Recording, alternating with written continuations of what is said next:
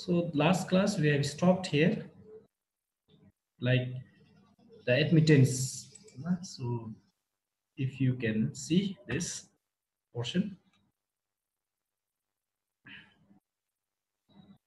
So this one, last class, we have stopped here. We have seen this part.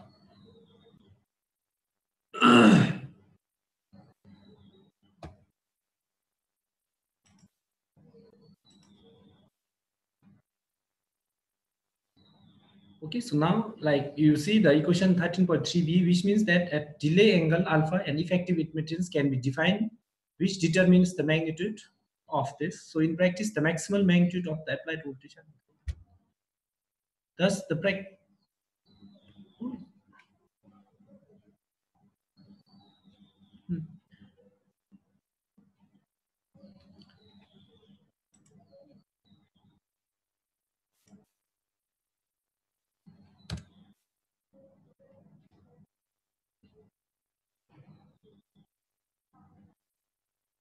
Okay, so this is the case. So now if you see this VI characteristics of TCR and TSR separately, this is the case here.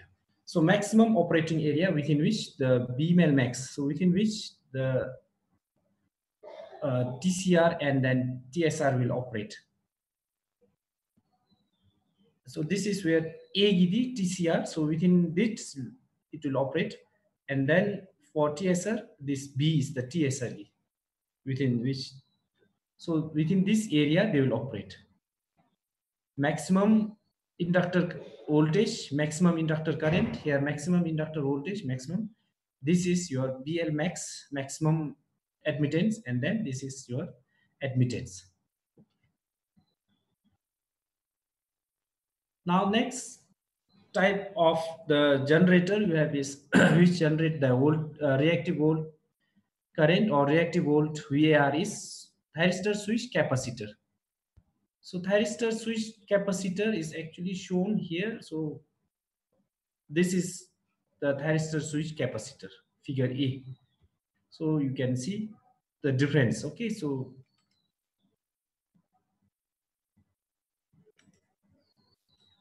this one is your thyristor switch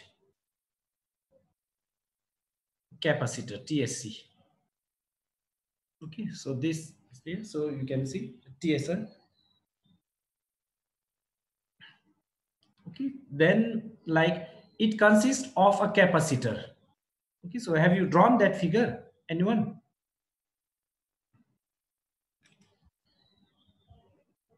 You can draw the figure here this figure. This one you draw this figure then we'll see the description Everyone, please draw this figure. Drawn? Hello. Drawing, sir. Drawing, sir. Drawing. Then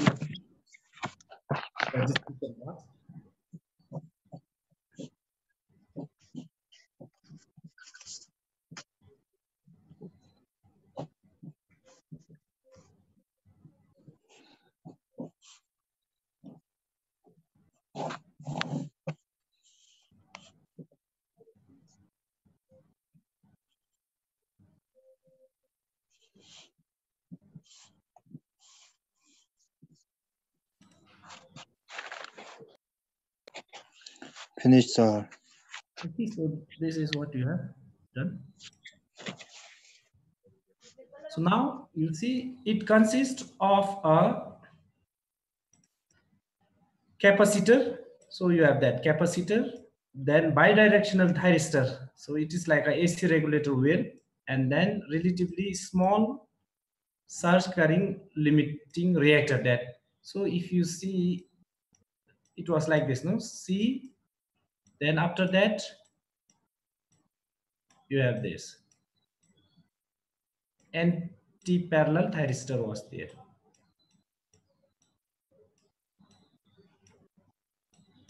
Okay, so like this one, yeah. And then after that, you have is this. So if you see, this is your C, then this is your L, So the so now what it is, it consists of a capacitor, this capacitor. Okay, then bidirectional thyristor valve, this one, so it will, and then relatively small current limiting reactor. Okay, so this we have three. So it, construction wise, it consists of a capacitor, this C, bidirectional thyristor valve, this one, this portion completely, and then a relatively small surge current limiting reactor, this L. So in this three component constitutes a TSC, thyristor switch capacitor. Then why we require this reactor, this L is reactor is needed primarily first why? Mainly two reasons were okay so first one is to limit the surge current. The main function of this inductor l is to limit the surge current in thyristor valve under abnormal operation operating condition so it will like it is acting like a circuit breaker in AC power system. So in this TCR, this L is acting like a circuit breaker. So it limits the surge current in the thyristor valve under abnormal operating conditions such as the malfunctioning and all this thing. And then another one is it may be also be used to avoid the resonance with AC system impedance at particular frequency. So these are the two function of this L, inductor L. So it first one limits the surge current and second one is again limits the resonance. So two things, so surge current and the resonance. So this is your figure that is basic. Now under steady state condition, during the steady state condition, when thyristor valve is closed, that is when this when this valve is closed. Okay, so when thyristor valve is closed, what will happen is and TSC branch is connected to sinusoidal AC voltage source. This V is equal to V sine omega t or Vm sine omega t then current in the branch is given by. So can you find out the current? This current, find out when it is connected to this, what will be your current? I, this current, you find out, apply. So when this switch is closed, this is switch, this total is switch. So now you find out the current in this circuit when switch is closed. This is your V, when V is given, so like we have this V is equal to what? V is equal to I R no in series circuit branches. Then I is equal to I is equal to V by R. So you can use this concept concept of this apply to this and then find out current flowing in this circuit. So everyone try it, find out the current flowing in this circuit. So you have this current in this circuit will be same, right? I so you find out now series circuit now. Find out current flowing in this circuit. So the current in the branch is given by Ron found, found out the current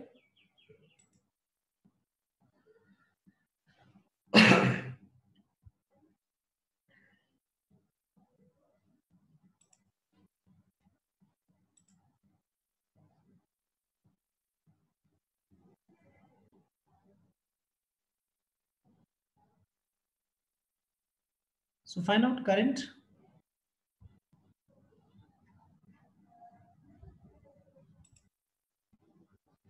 Hello, Rajesh.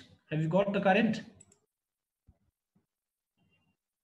No, sir. So current in this actually LC given. LC circuit. This is so this is what will LC circuit. VXC over. Okay. So this is I is equal to V by Z actually. What is the Z now here? This is actually Z. Z of the circuit. XL plus XC. So now you do it, finally you will get on sim, uh, this Vm by omega L plus 1 by omega C. So on simplification, we will get this. This is the current of this, where N is square, where N is this. Okay, so where N is this. So on simplification, you get this. So you please do simplification part and then you will find out this. So which means again, the current I will start after 90 degree. Okay. Then the amplitude of voltage across capacitor is given by this. So amplitude. So amplitude of voltage across capacitor is given by this.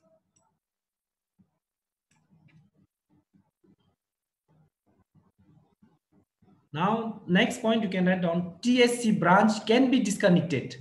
Means now once it is switch on, you can switch off that TSC branch also that uh, this branch can be disconnected. This branch can be disconnected or switched off. So you can switch off this branch, disconnect it. You can So TSC branch can be disconnected at any current zero crossing. So at, at that zero crossing. So as soon as the current crosses zero, so like this, say suppose now the current has, so the TSC branch, suppose the current waveform is there. So at this point, it will not be able to, you cannot take out the TSC branch at this point. So now as it reaches here, you can disconnect it here, one point. So you can disconnect here, zero crossing. Okay, so at the,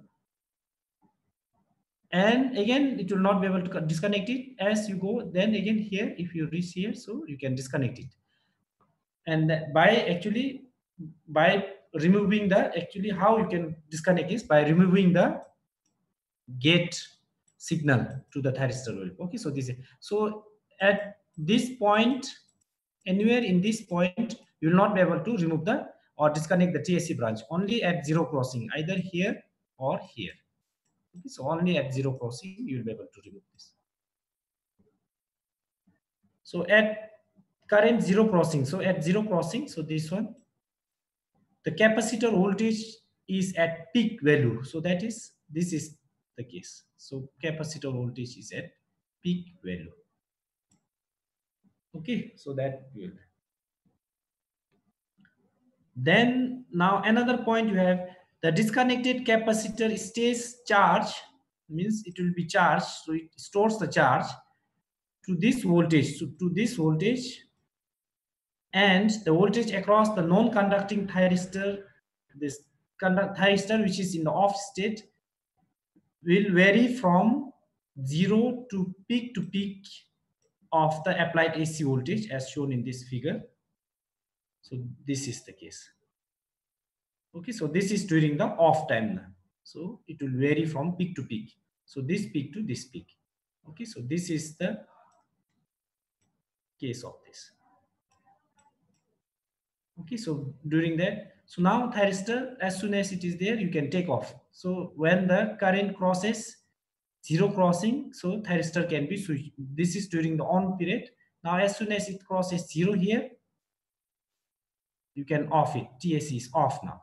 So off but the capacitor is still charged. So the what will happen is the voltage across the capacitor. So this across switch, this is your switch voltage across the switch will actually varies between zero. So from here zero to the maximum peak, and then again come to zero, then peak. So it is going like that. So this is what actually the capacitor during the charge. Okay, so we see if n is quite large, then 1 can be neglected and hence Vc is equal to V. Then switch will be subjected to the oscillation in this case. Your switch will be subject to the oscillation. Now, another point we have is if the voltage across the disconnected capacitor remains unchanged, okay, so remain unchanged, the TSC bank could be switched and again. So if the voltage across that like if that if this voltage remains same voltage across this switch remains same even after disconnection then what you can do is you can switch it again without any transient. Means without any disturbance or any transient at the appropriate peak of the applied voltage. So appropriate peak so means as soon as the ac voltage reach here up to 90 degree you can apply the gate signal for a positively and negatively charged capacitor in figure. So as illustrated in figure you can have so so this is what we learn so during positive half you can start it again during negative half this is current where. So current is starting. Okay so this is during negative peak. Positive peak nadi it is starting from here.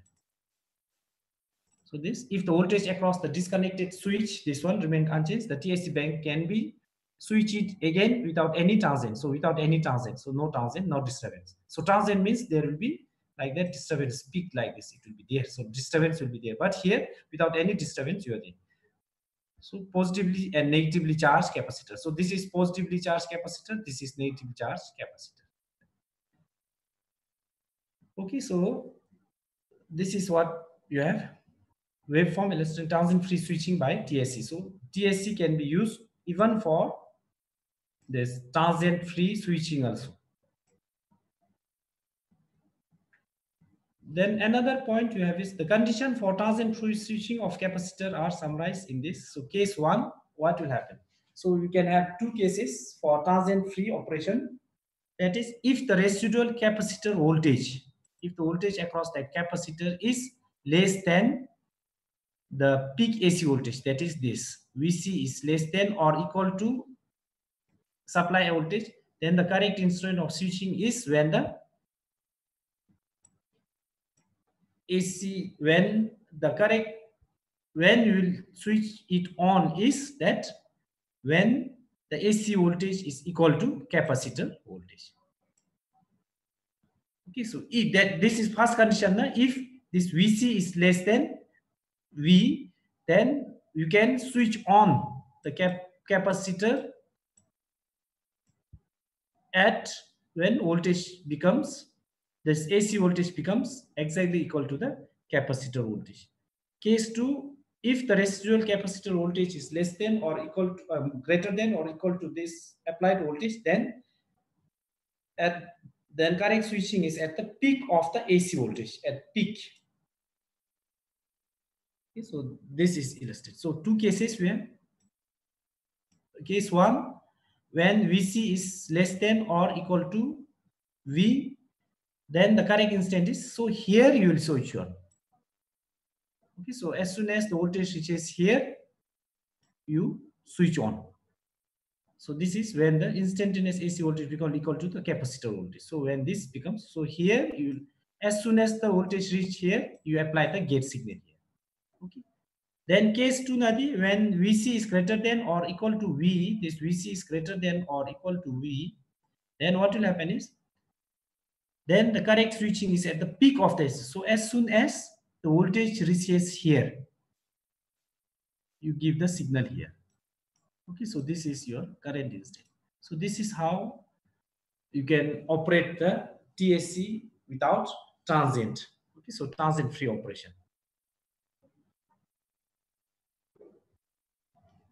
So then you can just go through it. So same thing that you that uh, so here now the maximum possible delay in switching in a capacitor bank is just one half cycle. Therefore, now from here you can see is for this reason TSC branch can provide only step-like change and therefore TSC branch cannot be like you have this step-like presence. So it is not possible for this to apply this firing so firing angle delay control is not applicable in this case unlike in tcr tsc you cannot control the firing angle delay. You cannot control the output or reactive power by using this delay angle method because of the fact that it is just giving either zero or maximum. So either zero or maximum okay so maximum to zero so the changes is just a step one not a sinusoidal so that is why you cannot use this delay angle method to control the power flow in the uh, system. Then another point you have is the current in the wire is linear with the apply voltage according to the admittance, admittance, uh, admittance. So this you can see. So this is what we so TSC now operating wave characteristics of TSC opposite. So it is varying in this fashion.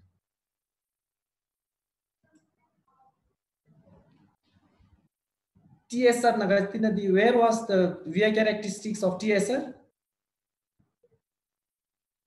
Hello? Hello?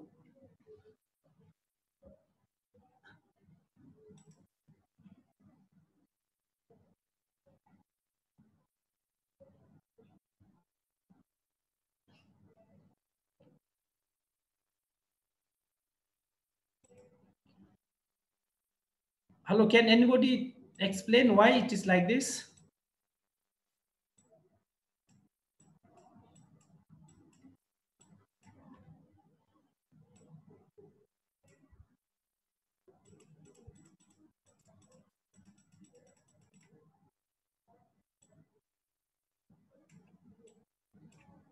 Why it is like this?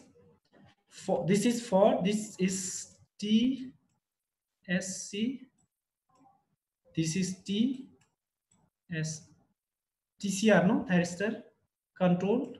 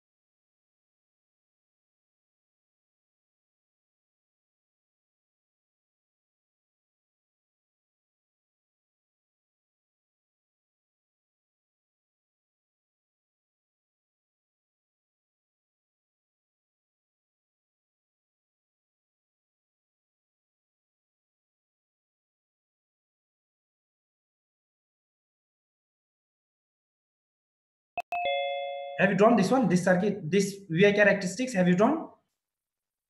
Just keep okay.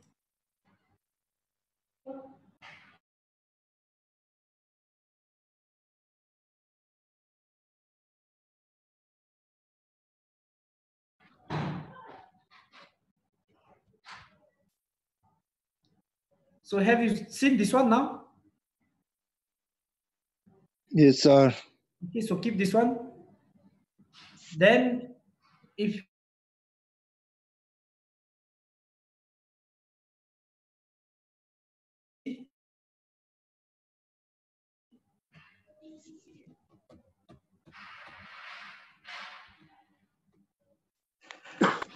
see TSC is in left side, TSR in this side. Why it is like that?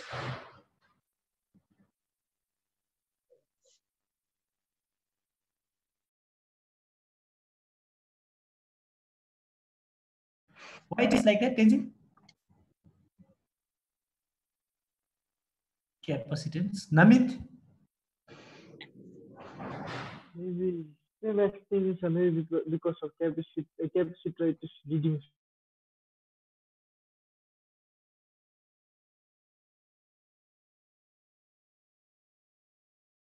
That is, see here, TSC is a capacitor, so current is leading. Current lead will be 90 degree leading here. Ele- inductor, it is inductive in nature, so current is lagging 90 degrees. So voltage is here. So that is why it is here, left, the right. Okay, so leading lagging. So same namit da nigla that namit and tension was also taking because of capacitance, current was leading. So the current drawn by the system is leading in nature, so 90 degree lead. Current drawn by the system is lagging, so 90. So that is why in right side, the left side key, you are getting the VI characteristic. Is it okay? Otherwise, it will linearly vary with this. The, the, the admittance of the capacitor will vary linearly with the system. So it is a, it actually follows the Ohm's law here.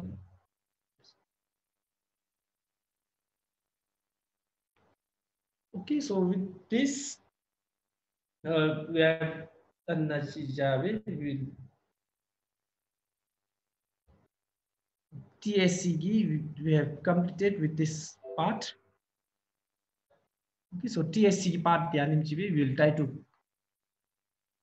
uh, clear up that TSC part. So if you have any doubt, please share. Uh, if you have any doubt, please let me know before we move it to uh, static VAR compensator SVC. Whatever we have done till now is SVG. Okay, so static VAR generators and then how that so we have seen this uh, static VAR generator. So this we have difference between svg and svc so right now we have done this svg so VAR generator now it is VAR compensator. We will have next point VAR compensator. So please see if you have any doubt So type we have seen the types of SVG.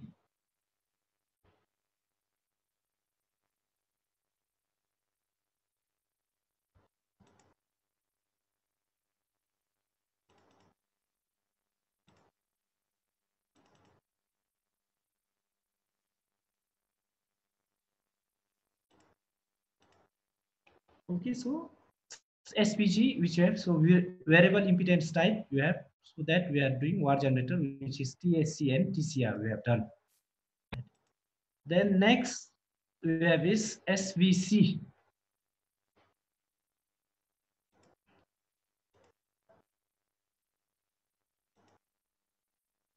Okay, so any any doubt anything you need to share? No, sir. So with this, then we'll, if you don't have any doubt and all this thing, we'll try to stop it. We'll sum up anything. So if you have any doubt, please, and it, you can share it here or you can just mail it. to the Class note done is the, I will try to upload, I will upload it in the value. First class key I have uploaded. So now I will upload today's presentation. I will upload it. Okay, sir. Okay. Okay, sir.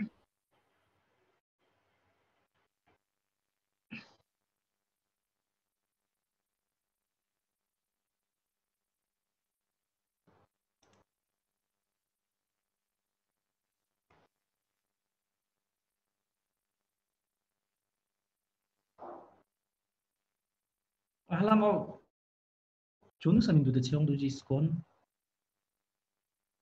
17 on Networking there. to anjo. Last na print screen jab. Okay, thank you. Thank you, sir. Thank you, sir. Thank you, sir. Thank you, sir. Thank you, sir. Okay.